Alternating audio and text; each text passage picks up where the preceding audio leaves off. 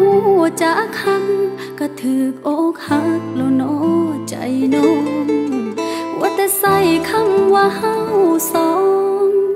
ก็ต้องถืกอ้ายบอกลาน้องก็ยอมหับอยู่ว่าเป็นฝ่ายเดินเข้ามาทั้งที่หูแก่ใจ